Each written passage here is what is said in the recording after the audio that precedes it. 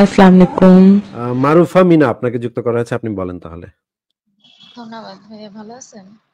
হ্যাঁ ভালো আছি আশা করি আপনিও ভালো বলেন তাহলে।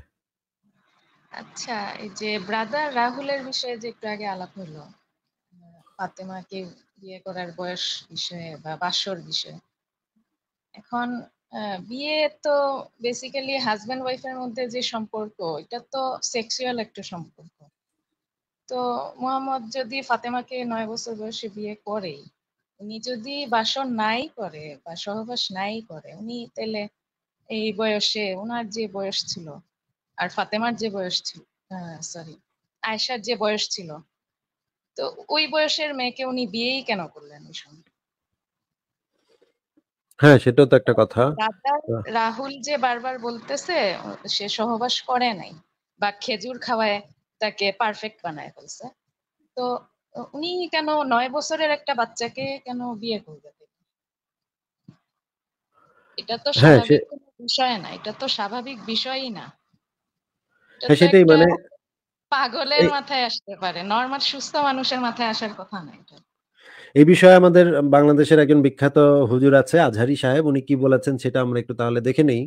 এটা এখানে খুবই ইম্পর্টেন্ট একটা ব্যাপার যে মোহাম্মদ তো আবু বকরের বাসায় যাওয়া আসা করতো। সেখানে তো এই যে ছয় বছরের এই যে শিশুটাকে পাঁচ বছর পাঁচ বছরের শিশুটাকে সে দেখেছিল। এখন তখন তো ছয়ও হয়নি। আমি হিসাব করে দেখেছি পৌনে ছয় বছরে বিয়ে হয়েছিল। তার মানে এই ঘটনা আরও আগে। মানে সাড়ে পাঁচ বছর বয়স সেই মেয়েটা। সাড়ে পাঁচ বছর বয়সে একটা মেয়েকে দেখে মোহাম্মদের মনে কি চিন্তা খেলা করতো? তো। ওনার মাথায় কেন ওনাকে নিয়ে এই চিন্তাটা আসলো তাই না? আমরা একটু দেখি একটু একটু দাঁড়ান আমরা একটু দেখে নিই। এরপরে বিশ্বনবীর একমাত্র কুমারী বাবুর নাম কি? আয়েশা। বিশ্বনবী বললেন উরি তুকি ফিল মানে আমি সালা আয়েশা বিয়ের আগে তোরে কিন্তু আমি তিনবার স্বপ্নে দেখছিলাম। সুবহানাল্লাহ কবেন না? বড্ড খুশি হয়ে গেলেন আয়েশা। এরপরে বললেন তিনবার স্বপ্ন দেখার পরে তোমার ব্যাপারে মনের মধ্যে কেমন কেমন যেন ভালো লাগে। তারপরে একটা ছোট্ট কাগজের মধ্যে জান্নাতি কাগজ রেশমি কাপড়ের মধ্যে তোমার চেহারাটা এনে জিব্রাইল বললেন দেখেন নবী কেমন লাগে? আমি কইলাম ভালো লাগে। কার মেয়ে আপনার বন্ধু আবু বকরের মেয়ে? বিয়ে করবেন নাকি? বিশ্বনবী বললেন ও জিব্রাইল তুমি যদি ঘটক হও আল্লাহ যদি হয় কাজী আমি মোহাম্মদ বিয়েতে রাজি। সুবহানাল্লাহ। পড়েন। বিয়ে হয়ে গেল। মানে একটা তিপ্পান্ন বছরের একান্ন বছরের একটা বুইরা বেটা সে একটা সাড়ে পাঁচ বছর বয়সী মেয়ের স্বপ্ন দেখতেছে এবং তার মনে নাকি কি কি হচ্ছে? কেমন মানে লাগতেছে? ভঙ্গি উনি খুব রসায় রসায় বললেন তিনি। মনে হচ্ছে উনাকে চান্স দিলে উনিও এটা করবে হয়তো। এই যে আজহারি সাহেবের কথা বলতেছি। তো বেসিক্যালি তিনি এটা পড়ে? সাধারণত হয়তো তিনি এটা পড়ে নিজে এরকম ফ্যাসিনেশন করে ফেলাইছে। আজারি নিজে নিজে এরকম ফ্যাসিনেশন ফেলাই- ফেলাইছে। ছয় বছরের কোনো বাচ্চার স্বপ্ন নবীর সুনত সে নিজেও হয়তো দেখছে। এটা কি কল্পনা করা যায়? মানে এটা আবার হ্যাঁ, গর্ব করে বলতেছে যে মানে বাচ্চা একটা মেয়েকে স্বপ্ন দেখে মনে কেমন কেমন হয়েছে কেমন কেমন মানে- করছে? খুবই নোংরা নোংরা ভাবে উনি বললেন কথাটা। আমার অবাক লাগতেছে রীতিমতো। আচ্ছা এখন কথা হচ্ছে উনি যদি সহবাস নাও করে থাকেন তার উপযুক্ত বয়স হওয়া পর্যন্ত যদি নবী অপেক্ষা করার ইচ্ছাও থাকে উনি উপযুক্ত বয়স হতে হতে নবীর বয়স কত হতো? ওই সময় কি নবী তাকে স্বামীর যে স্বামীর কাছ থেকে যে আশা থাকে বা চাহিদা থাকে ওইগুলা কি তার পূরণ করার ক্যাপাসিটি হইতো থাকতো? ততদিনে তো মানে মানে আঠারো বছর যখন আহ, আয়েশার আঠারো বছর হয়েছে ততদিনে তো মোহাম্মদ মরেই গেছে। মানে উনি কি ভেবে একটা ছয় বছরের মেয়েকে উনি প্রস্তাবটা দিল নয় বছরে ঘরে তুলে আনলো? মানে কি ভেবে ওনার যুক্তি কি? যদি সহবাস নাই করে ব্রাদার রাহুলের কথা অনুযায়ী যদি মেনেও নেই? যে উনি বাসর করছে মানে সহবাস করে নাই। তাইলে উনি কেন আনছে ওকে? হ্যাঁ, আমরা যদি একটা কাল্পনিক চিত্র দেখি এআই দিয়ে তৈরি করা একটা কাল্পনিক চিত্র দেখি একটা বান্ন তিপ্পান্ন বছরের বুইরা এবং একটা সাত আট বছরের মেয়ের মানে ইয়াটা কেমন হইতে পারে চেহারাটা কেমন হইতে পারে তাহলে আমরা এই রকমের একটা চিত্র দেখতে পাবো।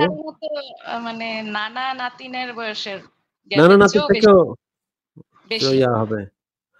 আচ্ছা আমি একটা কথা বলে নেই যে আমাদের ব্যাকস্টেজে আমি কিন্তু কয়েকজনকে বারবার বের করে দিচ্ছি, কিন্তু তারপরে তারা আবারও চলে আসতেছে। এই যে আপনি যে এমডি মুশফিকুর রহমান, আপনি প্রতিদিন এসে বসে থাকেন ভাই। আপনি, আপনাকে আমি বের করে দিলেও আপনি সাথে সাথে আবার চলে আসেন। আপনি যদি, আপনাকে যদি আমি ব্যান করে দেই, তাহলে কিন্তু আর আপনি ঢুকতে পারবেন না।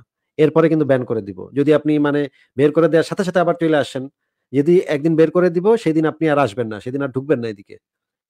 মানে আমাকে বিরক্ত করে মারবেন না ভাই। মানে অত্যন্ত বিরক্ত করেন। কিছু লোক আছে অত্যন্ত বিরক্ত করেন। যারা একদম মানে বের করে দিলেও আবার সাথে সাথে চলে আসেন। কেন আসেন? বের করে দিচ্ছি বুঝতেছেন না যে বের করে দিচ্ছি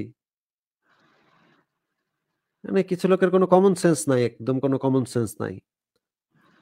আচ্ছা আসলে আরেকজনকে একটা হ্যাঁ। কথা বলতে চাচ্ছি। হ্যাঁ বলেন। গত কিছুদিন আগে একটা লাইভে শুনছিলাম হচ্ছে মোহাম্মদ তার বাবার বিষয়ে বলছে উনি নাকি জাহান্নামী। হ্যাঁ মোহাম্মদের বাবা এবং মা দুইজনই জাহান্নামী। হাদিসের মোহাম্মদের ভিতরে আছে। ইসলাম ধর্ম আসছে হচ্ছে ওনার প্রায় চল্লিশ বছর বয়সের পর। না সেই সময় আহ, ঈসা নবীর শরীয়ত চালু ছিল। মোহাম্মদের পিতা এবং মাতা ছিল পৌত্তলিক তারা খ্রিস্টানও ছিল না। আচ্ছা আচ্ছা। আচ্ছা তাইলে মুহাম্মদ কোন ধর্ম এর আগে পালন করছিল? ওনার যৌবনকালে বা প্রাপ্তবয়স্ক হওয়ার পর থেকে? মোহাম্মদ এর আগে পৌত্তলিক ধর্মই পালন করতো। এই বিষয়ে আমার একটা লেখা আছে ইসলামের জুডিও খ্রিস্টান এবং পৌত্তলিক ভিত্তি।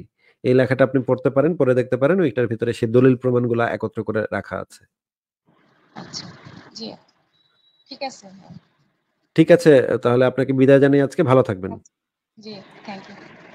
আচ্ছা ঠিক আছে।